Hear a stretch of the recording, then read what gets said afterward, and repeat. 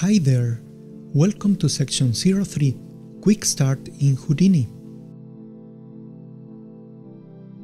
In this section, we are going to learn the general workflow to produce a final shot.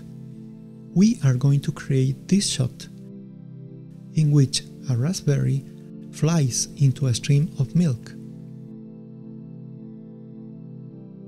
First, we are going to model and animate a simple raspberry and then generate a fluid simulation.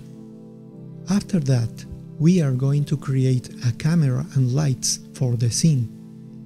Then we are going to create and assign materials to the raspberry and the fluid. And finally, we are going to render the shot and composite the images to improve the look.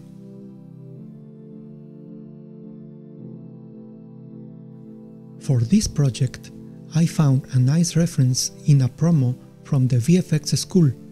Take a look. In this promo video, you can find further interesting food simulations. If you are interested, I suggest you take this course from the VFX school website. Some important definitions for our project.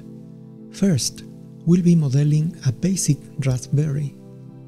Second, we'll be exploring a couple of techniques for meshing the fluid. Third, we'll be using Houdini materials and lights and the native render engine Mantra. And fourth, we'll be doing basic use of the compositing context in Houdini. In Houdini, the general workflow to create simulations is as follows. First, we create some geometry to be used as an emitter. Second, to use this emitter for the simulation, it must be converted into volumes and points with attributes.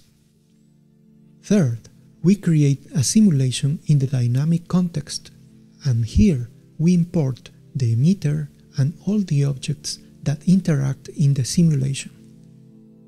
And fourth, the simulation result from the dynamic context is imported back to the geometry context and is processed to be rendered. In the next video, we are going to model the raspberry. Thank you for watching this video. I'll see you soon in the next one.